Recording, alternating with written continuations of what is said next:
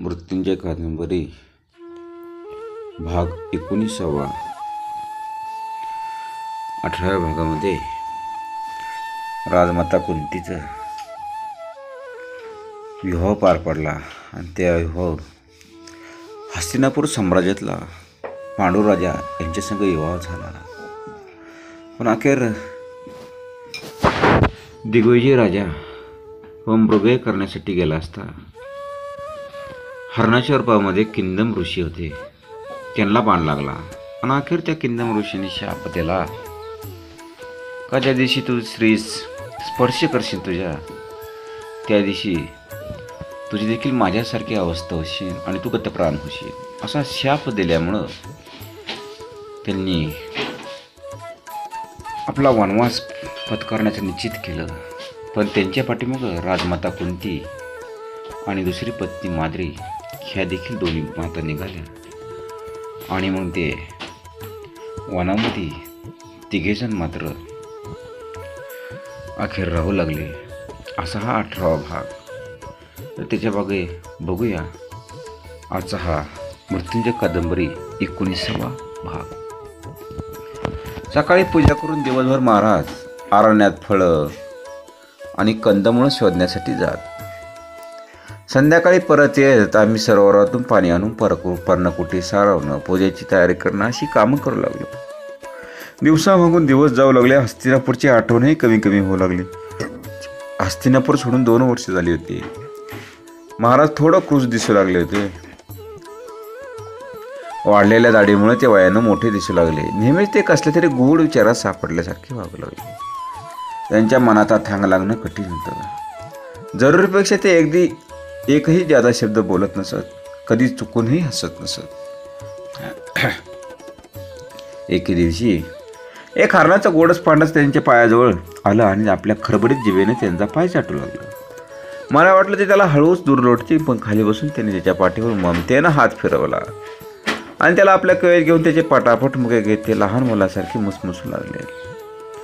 माझ्या मनात एक अतिशय भयानक विचार येऊन गेला अति मानसिक त्रासामुळे महाराजांना वेळ लागले की काय? घाबरून मी विचारलं असं काय करता? माझ्याकडे न पाहताच त्या पिलाच्या कातडीवर आपला गाल घासीत ते म्हणा. कोणती कसं सांगू ग?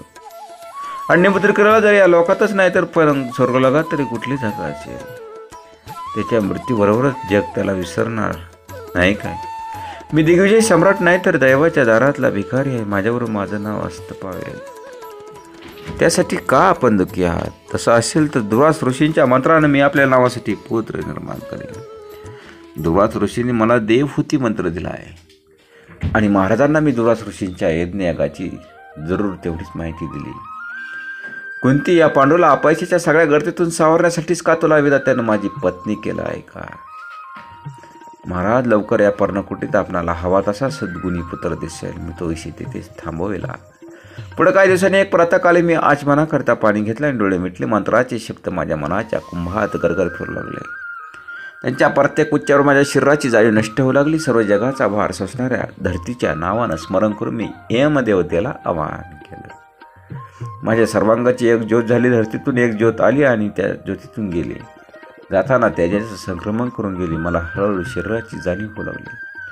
कंदमुळं आणि फळं खाऊन जगलेला माझा देह थरथरू लागला. मी धाडकन खाली कोसळले. त्या दिवसापासून मी आबूल झाली. मला एकांत आवडू लागला. शांततेची ओढ लागली कुणीही मोठ्याने बोललेलं मला खपेना परत एक अनुभूत जीवनाला सुरुवात झाली आणि शरीर कणा कणाने खुलू लागलं. योग्य काळानंतर एके दिवशी पहाटे माझ्या पोटात दुखू लागलं. मी म्हाता झाले आणि एक सौम्य आणि शांत बालक जन्माला आलं. सर्वांची मुख आनंदाने उजळून गेली. सर्वांनी त्यांचं नाव युधिष्ठर ठेवलं. युधिष्ठर पर्णकुटीत वाढू लागला. तो कधीच रडत नव्हता पण कधी हसतही नव्हता. नदीच्या डोळ्यासारखी तिची चेहऱ्या सदा शांत होती. डोळे मात्र विशाल होते. महाराज त्यांना खेळवण्यात स्वतःला विसरू लागले. आणि आपल्या हस्तिनापूरचा तर विसर पडला होता पण आता आमच्या दुःखाचाही विसर पडला. युधिष्ठिर एक वर्ष झाला दुसऱ्या वर्षी वायुदेवतेपासून मला आणखी एका पुत्राची प्राप्ती झाली. त्याची अंगलट अतिशय रेखीव आणि भक्कम होती. त्याला आम्ही सर्वांनी भीम येणं उठवलं ते वायूसारखा गतिमान होता. एक क्षणसुद्धा त्याला एका ठिकाणी बसावा असं वाटत होते. भीमानंतर इंद्रदेवापासून आणखी एका पुत्राचं वरदान मला मिळालं ते सावळ्या रंगाचं बालक अतिशय तत्तरी होतं. भरदुपारी त्याचा जन्म झाला. आणि त्याच्या काळ्याभोर डोळ्यातून तेजाच्या शिंग्या पडत बाहेर पडत. त्याचं आम्ही अर्जुन असं नाव ठेवलं. युधिष्ठर भीम आणि अर्जुन. यांच्या कलकडानं परकणं कुठे हादरू लागले? मला माझं जीवन सार्थ झाल्याचं समाधान वाटू लागलं. ते कोण होतील काय करतील याबद्दल मी आणि धात्रे आणि महाराज घटकानं घटका चर्चा करू लागलं. धात्री नेहमी म्हणे हा भीम ना कधी कोणाचंही ऐकणार तर मिळेल त्याला झोडपूनच काढणार. एक क्षणभर तरी स्थिर बसणे याला माहीत आहे का? आमचे समाज मात्र मात्र एका कोपऱ्यात बसून आबरपणानं ऐकू लागली. ती कुणाशी काही बोले ना तिचं असं वेगळं जग तयार होऊ लागलं. ती का दुःखी होती ते मला समजलं. ती स्त्रीचं दुःख जग जाणायला स्त्रीचं स्त्रीला वेळ लागत नाही. तिला अपत्याची ओढ लागली होती. सरोवरच्या काठी तिला मी एकदा विचारलं माधुरीच्या पुत्रासाठी का दुःखी आहे उत्तर देण्याऐवजी मला विठी मारून ती सुंदर लागली. तिची पाठ तुटली ती मला माधुरी तू कुरकुलाची सुना अशी रडू नको. तुला सुद्धा मला होते. आणि सरोवरात उंजळवर पाणी घेतलं आणि डोळे मिटून मी दुर्वासांचं स्मरण केलं. माधुरीला समोर बसून मी तिच्या हातावरचे पाणी सोडलं आणि धडाधड मंत्र म्हणू लागले. भात्यातून बाहेर बाहेर पडा तसं माझं शरीर रिक्त होत होतं असं मला वाटू लागलं. आणि शेवटी सर्व मंत्र म्हणून झाले. मी डोळे उघडले. माधवी विचारला आता तुला मंत्राचे शब्द आठवतात का? तिनं हो.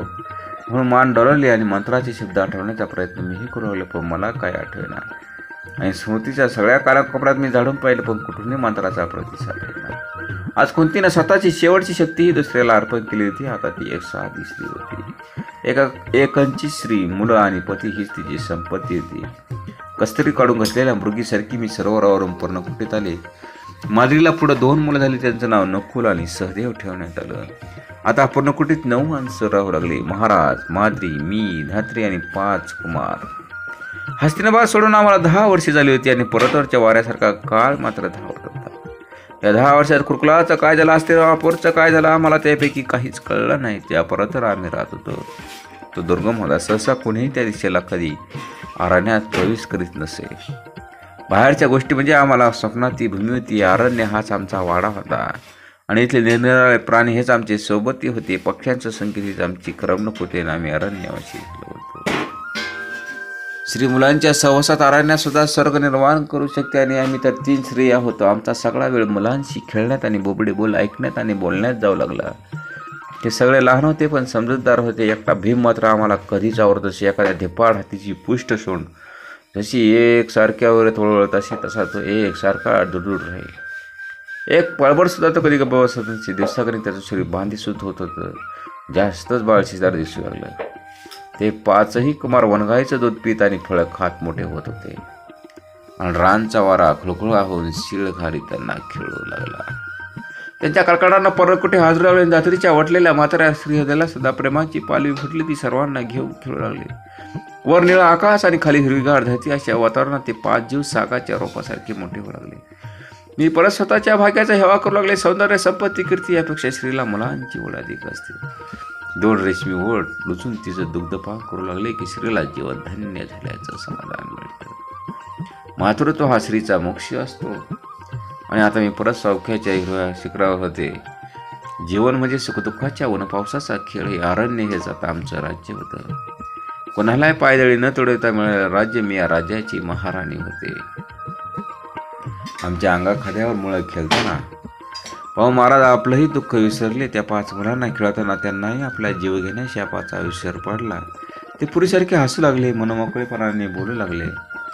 वर्षामागून वर्ष मागं पडली. मुलं मोठं होऊ लागली आणि अरण्यात निर्भयपणे फिरू लागले. कुठेही ते मिळून जात त्यांना खेळण्यासाठी सतशृंग परत अपुरा पडू लागला. भीम तर येताना वाघाची पिल्लं त्यांच्या कानानं धरून फरफर ओढून आणू लागला. माणसाचं जीवन हे आजूबाजूच्या परिस्थितीवरती अवलंबून असतं. जसा आणि त्याचा सहवास असे तसं मानवी मन आकार घेतं.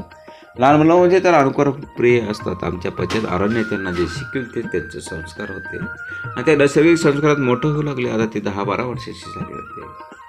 अरण्यात येणाऱ्या त्यांना जीवन हे सतत वाढण्यासाठी असतं हे शिकू लागल्या.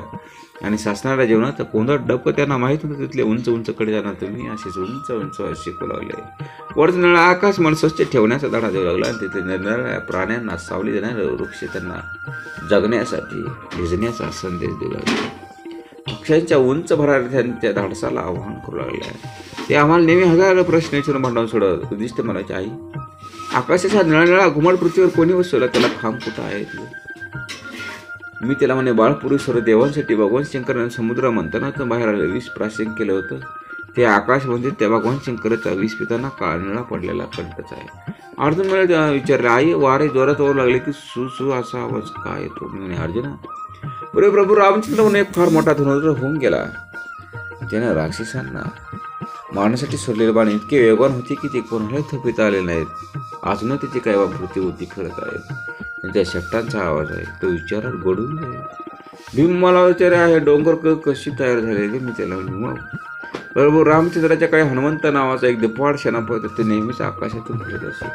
पण एकदा त्याला पृथ्वीवर यावा असं वाटलं पण पृथ्वी म्हणजे नुसती दलदल होती. त्यावेळी या दलदलीत हनुमंतानं पाय ठेवला. त्याचा पाय ज्या ज्या ठिकाणी पडला त्या त्या ठिकाणी खोल धरायला तयार झाला. बाकीचा भाग फुगूनवर आला तेचे डोंगर तेच हे पर्वत या दलदलीत चालून चालून हनुमंत कंटाळा आणि त्या आकाशात भरारी घेऊ लागला. त्याच्या पायाला एक मोठं ढेकूळ चुकटून गेलं तोच तो चंद्र तो तोंड पसरून सगळं ऐकेल. मग गाल आणि काका फुगून हनुमंत किती मोठा असेल याच्या कल्पनेनं मात्र नक्कल करेल.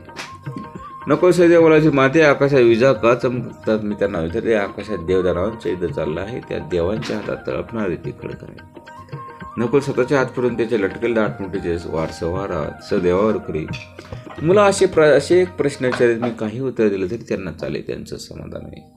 आमचा दिवस आनंदात जावळ सतसंग पर्वत सोडावा. असं आम्हाला वाटे ना जिथं मनुष्य वस्ती करतो त्या ठिकाणाची त्यांची श्रद्धा निगडीत होते.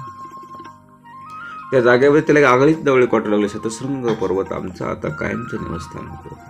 कुणी सांगावं कदाचित याच पर्वताच्या घोंगवणाऱ्या वाऱ्यात माझा शेवटचा श्वास मिसळला असता. मला त्याबद्दल घोंगवणाऱ्या वाऱ्यात माझा शेवटचा श्वास मिसळला असता. मला त्याबद्दल कधीही खेद वाटत नव्हता. कारण या पर्वतानाच आम्हाला पोचलो होतं. जवळजवळ दीड तप आपल्या खुशीत निवारा दिला होता. पण या काळ पुरुषासारखा लहरी रंग या जगात दुसरा कोणी नसले किती झटपट बदलतो. तो जगाचे रंग क्षणात होत्याचं नव्हतं कळतो पृथ्वीच्या पाठीवर. आनंदाने गजबजलेले लगड तो क्षणात अजगरासारखं इगलतं आणि मानवानं हजारो वर्षे खपून तयार केलेली संस्कृती हा काळपुरुष लहान मुलांना समुद्राच्या काठी बांधलेला वाळूचा किल्ला लहर लागता स्वतःला उधळून लावत असा क्षणात उधळून टाकतो. हे जग म्हणजे अराजकच नाही का? इथं सुसंगत आणि सुसूत्र सुसूत्रता अशी ते कुठं? कोण या सगळ्या घटनांचे फाशी लागतं? कोण हरित ही सगळी खेळणी आणि माणसाचं जीवन तरी अपाट विश्वातली किती शुद्र असतो? विश्वाच्या निसर्गात अलता करणाऱ्या काळाला माणसाचं जीवन म्हणजे बुडबुडात वाटत असतात केव्हाही फोडता येण्यासारखा एक शुद्र वळवडा आणि या वळवड्याच्या निर्मितीनं जगात कधी भर पडलेली नसते. फुटण्यानं काय कमतरता पडणार नसते आणि विश्व हे कायम आहे तसंच असतं. पण या वळवड्याच्या फुटण्यानं मानवी जीवनात मात्र काही काही वेळा जलतरंग निर्माण होतात. कधी कधी ते भयानक असतात. आणि मनाच्या जीवनावर विश्वास उडवतात श्रद्धा जाळून टाकतात. जगात देव नावाची शक्ती शिल्लक आहे की नाही असा प्रश्न निर्माण करतात. मन भावावून जातात. चोवजून आग मात्र. लागलेल्या वनात सापडलेल्या पाखरासारखं असहाय्यपणे तडफडू लागतं. माझ्या एका घटनेनं अशीच अवस्था झाली एके दिवशी माद्री पाणी आणण्यासाठी सरोवर गेली होती. थोड्या वेळानंतर महाराजा नेहमीप्रमाणे अरण्यात गेले. अर्ध्या घटकेत माद्री परत आली पण तिच्या काळीच फोडणार टावून आणि हृदयविदारक मनोभीती हबरड्याने मी घाबरून पर्णकुटी बाहेर आले. तिच्या हातात पाण्याचा गळा नव्हता. आपली छाती पिटी आणि झिंज्या ती कशी तरी वेड्यासारखी ताई ताई असा हंबरडा फोडत वाऱ्याच्या योगानं धावत येत होती. आणि अंगावरच्या असरसही तिला भान नव्हतं. तिच्या पुढे त्यावेळी कुणी जरी अडवलं असतं तरी ती त्याच्यावर धाड आदळून कोसळले. मला काय कळेल ना भीतीचा एक सनसनी शिरशिरी माझ्या सर्वांकातून जमकून गेली. काय झालं होतं मागरीला पाण्यासाठी ती निळ्या खडा काय झाला? पाच कुमार सुरक्षित आहेत की माझ्या येतात ती माझ्या अंगावर कोसळी व्यवस्थित आहेत. तर या संबरडा फोडत होते. हा टेवर करून मी तिला विचारलं माझे रडतेस का? गडा काय फुटला? काय झाला? गडा फुटला? म्हणून तिने मला घट्ट मिठी मारली तिच्या शोकाय थोडा आवरलेला दिसताच मी तिला माधुरी तू वीर करणे आहेस? अशी लहान मुलासारखी रडतेस का? काय झालं ते नीट सांग ताई ग महाराज तिनं मला साथीची घट्ट धरलं कितीतरी अर्थात होती तिच्या मिठीत. तिचे हृदय भीती थडदा थड उडत होतं. काय झालं महाराजांना? बोल माद्री महाराज कुठं आहेत? मी जोरानं किंतळले सरोवराच्या काठी.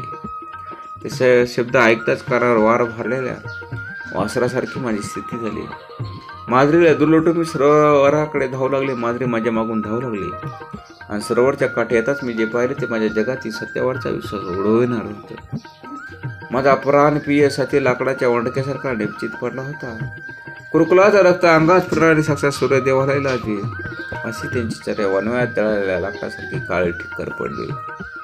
ती मूर्छित असल्यावर त्यांना हरण्यासाठी मी त्यांच्या अंगाला हात लावला. माझ्या अंगावर काटाच उभं राहिला. त्याचं शरीर थंडगार होतं. झटकर उठून मी माझ्या विचारलं माधुरी असं कसं झालं आणि तोंड फिरून ती घोगऱ्या आवाजात बोलवली ताई माझा काही दोष नाही. मी खड्यात पाणी भरून सरोवरातून बाहेर पडले. मला सरोवराच्या काठीच उभी होते. वऱ्यात माझा पदर उडत होता पण डोक्यावरच्या कड्यामुळे मला तो नीट आवडता येणार मी सरोवराबाहेर आले मला हसत उभी होते. त्याने एकदम हातात ती खाली टाकला. त्यांच्या डोळ्यात नेहमीचे भाव नव्हते मी जवळ येता झटकन त्यांनी मला आपल्या कवेर घेतला आणि माझ्या डोक्यावरचा धडाका धडकन खाली पडला. त्यांचे कायम डोळे जोर फेकीत होते. मला कावटळीत त्यांनी माझ्या माधवाजी म्हणून चुंबनाचा वर्षाव केला. मी त्यांच्या मुठीतून सुटण्यासाठी हातपाय आठवत धडपडू लागले पण ते अशक्य होतं. एखाद्या उपवासी माणसानं अन्नावर तुटून पडत असते ते माझ्या तुटून पडले होते. मी त्यांच्या बक्का मिठीतून गेले ते क्षणात भानावर आले आणि विचार नागिनीला ढकला होता तसं त्यांनी मला दूर लोटलं पण पण क्षणात त्यांची चर्या बदलून गेली. ते डोळे फिरू लागले आणि उभे उभे ते झाडकून खाली कोसळले. जेव्हाच्या आकांतानं कसतरी हातपाय झाडू लागले माद्री माद्री म्हणून तळमळू लागले. मी भीतीनं गारटून गेले आणि तिच्याकडे धाव घेतली. मी माधुरीच्या खा अडकन मुस्करा मारती जास्त मोठ्याने हवळ फुलू लागली. माझ्या कला किंद ब्रशीच्या शापाचे शब्द म्हणून राजा तू एका प्रे करायला प्रेयची बसून दूर खेचलाय. जेव्हा भविष्यात तू आपल्या स्त्रीला अशाच कवीत घेशील तेव्हा माझ्यासारखा तडफडवून तडफडवून व्हायची आणि माझा जीवनसाथी मला सोडून अनंताच्या प्रवासाला निघून गेला होता. केवळ एकाच मोहाच्या क्षणानं त्याला जीवनाच्या हिरवळीवरून मृत्यूच्या स्मशानात नेलं होतं. केवळ एका क्षणानं कोणतीच्या अंगात सहनशक्तीचे कसले आंदोलन आहे ते पाडासाठी त्याला विधवा केलं होतं. जी दिग्विजय संयम सम्राट आज भावनांच्या राज्यातला लाचार भिकार ठरला आणि कित्येक वर्षे मनाच्या संयमानं वागणारा योगी एका केवळ एका क्षणात दगड्या मनाचा भोगी ठरला. काम वासना म्हणजे माणसाचा पाय केव्हाही घसल्याची बर्फाची फसवी दरी. काम भावना म्हणजे केव्हाही अंगावर पडून जेवण जाळणारी वीज आणि आपल्यासह इतरांना पोळून काढणारा वनवा. आणि माझ्या संयमाचे बाण फुटू लागले. मी उभ्यानं दहा अडकर महाराजांच्या प्रत्येक महाराज असा आंबारडा फोडीत कोसळले. त्यांच्या छातीवरती मस्तक आवटू लागले आणि माझ्या मस्तकावरचा कुमकुम तिलक मात्र पुसून गेला. रात्री दहनाची तयारी करू लागली तिने चिता रचली आणि एका दिग्विजय राजाची अंतिम चिता. निर्जर नारायणात सरोवराकाठी रचली गेली. दैव मला काय काय दाखविणार होतं? मध्यवयातच मी विधवा म्हणून जगणार होते. आणि पतिशिवाय स्त्रीचं जीवन म्हणजे ज्योतिषयावाद मी आज कोण उठले ते? एका मान्यवर यादव राजाची मानी मुलगी कौरवांची वैभवशाली महाराणी त्या अरण्यातली वनराणी. उद्या आपल्या पराक्रमानं जग. दिपवणाऱ्या पुत्राची भाग्यशाली माता छेचे मी यापैकी काहीच नव्हते. आपल्या पतीच्या निर्णयानं प्राण निघून गेलेले मी एक निष्प्राण पुढे होते. एक दुर्दैव विधवा होते. विधवा किती भयानक आहे हा शब्द. महाराणी विधवा आणि मध्यम वयस्कचे कशात आणि काय संगती होते. माझं जीवन म्हणजे आहे तरी काय कुठल्या धैर्याने दुर्दैवाचे उकळते कळ सोसू या अरण्यात कोण मला धैर्याचे आणि सांत्वनाचे चार शब्द तो चौबाजूने आकाशाचा घुमट जर अंगावर कोसळा तर माणूस असल्यासाठी कुठं झाली मी एका अजहान बालकाला स्वतःच्या हाताने मृत्यूच्या मांडीवर ठेवलं होतं. म्हणून तर वरतो आपल्या काळजात इचकू मला त्याबद्दल ती कठोर शिक्षा देत नव्हताना. पुढं भयांदरी आणि मागं दरदाराने असंच माझं जीवन नव्हतं. काय बालपणात मी बाबांच्या हातचं खेळणं होते. भोसवरात मी दोरसांच्या हातचं खेळ झाले आणि आज अफाट वगैरे धावणाऱ्या काळाच्या हातचं खेळ झाले. त्याच्याबरोबर धावताना माझी आता ऊर्जस्फोट स्फोट होणार होती. आणि कोणाच्या आधाराने मी जीवनाची वाट पुढं चालू? माझं मन हे आता मला मनच नव्हतं आणि जास्तच तर ते बधीर होतं. त्याला भोध भविष्य वर्तमान काही काही समजत होतं आणि काळ वाघाचा रूप घेऊन अर्धमेल्या कुंतीच्या जीवनाची शिळी पाठीवर टाकून. उन्मत्पणानं तसाच चालला होता. मी गप्प होते मला रडावं असंही वाटत होतं. खरं माझ्या गोठ्याला हृदयातून अश्रू बाहेर पडत ते रडू येण्यापुरत्याही भावना द्रवत नव्हत्या. रात्रीनं महाराजाचं प्रतिचित्र ठेवलं त्यावर लाकडं रचली तिनंच तिथे लागलं. दिला शत्रूला भित्रीनं कापणार लावणार एका पराक्रमी आणि देवीची योद्धेला एका दाशीनं आगळीला चित्ता पेटू लागली आणि ज्वलांचे पक्षी सकाळ आकाशात भरायला लागले माझं मन सुन्न झाले त्याची ते गुस्साव म्हणून आनंद उठून उभे राहिले काय उपयोग होता आता तशावर उडेल जेवणाचा मी निश्चयाने पदर खोसला आणि त्यात फाडीसवर वसला घालून सरोवरातून सा स्नान होऊन आलेल्या माजरीनं माझ्या पायानं हात लावला आणि तो कपडा मागे नेला. मी शनिवारी वागवलं न बघता मी काय बोलणार हे न ऐकता ती सरळ तडक त्या अगदी घुसली आणि क्षणात तिचं पांढरं वसलं काळपट पडून करपून गेलं. माझं मन वरी बाहेर लागलेला पक्षासारखं तडफडू लागलं मी तिच्या मुस्कटात मारली होती. मला ती भावनेच्या राजातील दुबळी श्री वाटली होती पण किती तत्परतेने तिने निर्णय केला होता. किंदम ऋषीच्या नाकावर टिचून तिनं आपल्या प्रियकरानं दिलेलं अलिंग मृत्यूच्या मुलानं ते तेवढंही स्वीकारलं होतं. आता कोणाचाही शहर शाप तिला तिच्या प्रियकराच्या मिठीतून सोडून घेणार नव्हता. मीही तिचाच मार्ग अवलंबण्यासाठी सिद्ध झाले. आणि इतक्याच पर्णकटून धावणारे पाच कुमार माझ्या कमरेला बिलगले मला गदगद हलवून तिचे आई बाबा कुठं आहे ग? नकुल आणि सध्या किळून करून रडक्या आवाज म्हणाले धाकटे आई कुठं आहे का आपली? आणि त्यांना बघताच माझं बधीर मन पाजरलं मी तिची ती थोडी घेतली असती तर या पाच मुलांना घेऊन रात्री कुठं जाणार होती? केवळ एकाच मुलाच्या त्यागाच सल्ले मला अनेक रात्री सतावीत आलं होतं. असं ते पाप की पुण्य ते मलाही सांगता आलं नसतं. पण पण या पाच निराधार मुलांना मागं टाकून मी ती तेवढी घेतली. असती तर ते मात्र नक्कीच पाप झालं असतं. मी ते सर्वांना एकदमच कवेत घेतलं आणि ढासढास रडू लागले. पक्षीनाला पिल्लं बलवता तसे मला ते बिलगले आणि मला स्वतःचा काही निर्णय उरला नव्हता. मरणाचा सुद्धा. फेटून फुटून चिता शांत झाली आणि राख वाऱ्यावर उडून लागली. कालपर्यंत माझ्याशी सुख दुःखांच्या गोष्टी करा दोन जीव आज कुठं होते मृत्यू मृत्यू हा जीवनाच्या नदीत कुणाला न फोडता येणार अवघड होरास नाही काय आणि विश्वकर्त्याच्या आवरी धावणाऱ्या रथातील सर्वात सर्वात नाठाळ असणं एक आहे. आजपर्यंत त्यानं किती जीवन आपल्या टापाखाली रगडले असते आज त्यांची दृष्टी माझ्या पर्णकुटकडे वळली होती. तिनं ऋषींच्या शापांच्या रूपानं आणि मादरीच्या निश्चयाच्या रूपानं आज त्यानं आज मला खिळखिळ करून टाकलं नव्हतं काय. जगातल्या आजवरच्या मृताने अजूनही न भरलेल्या आपल्या काळ्या भांडारात मृत्यूनं आणखी दोन जीवांची भर घातली होती. आणि माझं कपाळ मात्र रिकामं केलं होतं. मी चित्तीजवळ गेलो आणि त्या राखीनं माझं फटफटीत कपाळ घेतलं. त्या राखेत एका दुर्दैवी महाराणीचे दग्ध दुःखासाठी तर एका प्रेयसीचे मृत्यूवर विजय मिळवले. आनंदाचे होते. आणि एका विजय राजाच्या पराजय रक्तबिंदू होते आणि आणखी माजरीबरोबरच दग्ध झालेल्या दुर्वास ऋषींच्या देवहूती मंत्रांचे करपलेले अमृत शब्द होते. आणि इथेच मात्र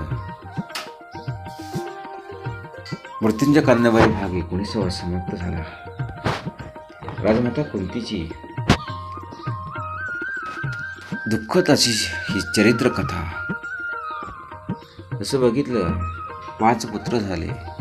तीन पुत्र राजमाता कुंती युधिष्ठर भीम अर्जुन आणि माद्रीला तीन नकुल आणि सहदेव. हे दुर्वास ऋषींचे ज्या पद्धतीने त्यांनी मंत्राहुती दिली माता कुंतीला त्या पद्धतीने माता कुंतीला तीन पुत्र आणि तोच मंत्र मात्र पुन्हा माद्रीला तर त्यांना दोन पुत्र झाले. अरण्यात राहून देखील पर्णकुटी भरभरून गेली. आणि माता कुंतीचं जीवन मात्र भरल्यासारखं वाटू लागलं. पण अखेर मात्र पुन्हा मात्र एकदा दुर्दैवाने मात्र पाठ सोडायच मात्र कुंती मातेची तयार नव्हतं. आणि अखेर मात्र पांडुराजे आणि माद्रीराजे भेटले असताना शापवाणीमुळं त्यांना त्यांचा प्राण सोडावा लागला पांडुराजांना आणि इथेच मात्र पुन्हा दुर्दैव माता कुंतीच्या पाठीमागं लागलं.